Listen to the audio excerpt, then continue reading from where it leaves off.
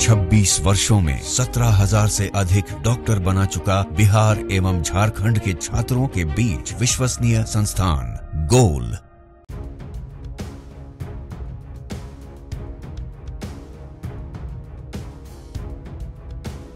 CM Nitish Kumar की अध्यक्षता में आज जदयू की राज्य कार्यकारिणी की अहम बैठक। मुख्यमंत्री ले सकते हैं आज कई बड़े फैसले। नमस्कार न्यूज़ पोनेशन देख रहे हैं आप और मैं हूँ आपके साथ साक्षी झा। पटना में आज जदयू की राज्य कार्यकारिणी की अहम बैठक होने जा रही है, जिसकी अध्यक्षता खुद मुख्यमंत्री नीतीश कुमार करेंगे। और इस बैठक को लेकर अब सियासी गलियारों में चर्चा तेज हो चुकी है कि नीतीश कुमार अब कौन से बड़े फैसले लेने जा रहे हैं। क्या है पूरी खबर? आइए हम आपको बताएँगे इस वीडियो में। कि पटना में आज, यानी शनिवार को नई राज्य कार्यकारिणी की बैठक होने वाली है। ये बैठक आगामी 2025 विधानसभा चुनाव की तैयारियों के लिए महत्वपूर्ण मानी जा रही है। मुख्यमंत्री नीतीश कुमार के नेतृत्व में आयोजित इस बैठक में पार्टी के सभी वरिष्ठ नेता और कार्यकारी सदस्य शामिल होंगे। इस बैठक का मुख्य उद्देश्य विधानसभा चुनाव के लिए राजनीतिक प्रस्तावों पर चर्चा करना और जदयू की रणनीतियों को तय करना है। पार्टी ने 120 सीटों पर दावेदारी ठोकने की योजना बनाई है, जो कि पिछले चुनाव के परिणाम को ध्यान में रखते हुए तैयार की गई है। बैठक में राष्ट्रीय अध्यक्ष और मुख्यमंत्री नीतीश कुमार, कार्यकारी अध्यक्ष संजय झा सहित अन्य केंद्रीय मंत्री और पार्टी के वरिष्ठ नेता शामिल होंगे। ये बैठक जदयू के लिए एक महत्वपूर्ण अवसर है, ताकि वो अपने संगठन को मज़बूत कर सके और आगामी चुनाव के लिए अपनी रणनीति को अंतिम रूप दे सके। बैठक में महागठबंधन से संभावित चुनौतियों पर भी चर्चा होगी।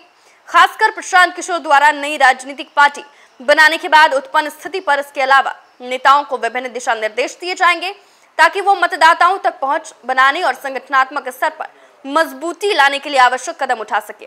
बता दें, जेडीयू की नई राज्य कार्यकारिणी की लिस्ट हाल ही में जारी कर दी गई है। राज्य कार्यकारिणी में पार्टी के राष्ट्रीय अध्यक्ष नीतीश कुमार सहित 118 सदस्य बनाए गए हैं। पार्टी की राज्य इकाई के सभी पदाधिकारी इसके पदेन सदस्य हैं।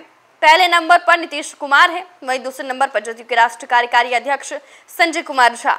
तीसरे नंबर पर केंद्रीय मंत्री राजीव रंजन सिंह और ललन सिंह का नाम है। इसके बाद पूर्व सांसद वशिष्ठ नारायण सिंह, मंत्री विजेंद्र प्रसाद यादव, विजय कुमार चौधरी और अन्य कई नेता राज्य कार्यकारिणी की लिस्ट में शामिल हैं। तो देखिए, पटना में आज जदयू की राज्य कार्यकारिणी की अहम बैठक होने वाली है और इस बैठक को आगामी 2025 की विधानसभा चुनाव को लेकर काफ़ी अहम माना जा रहा है। नीतीश कुमार इस बैठक में कई बड़े फैसले भी ले सकते हैं।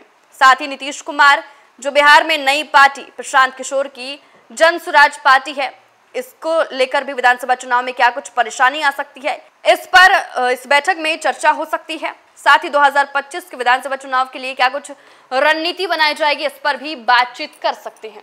देखिए, आज मुख्यमंत्री नीतीश कुमार की अध्यक्षता में जदयू की राज्य कार्यकारिणी की अहम बैठक बुलाई गई और इस बैठक में कई बड़े फैसले लिए जा सकते हैं। फ़िलहाल के लिए खबर बस इतना ही। आप देखते रहे न्यूज़ फोनेशन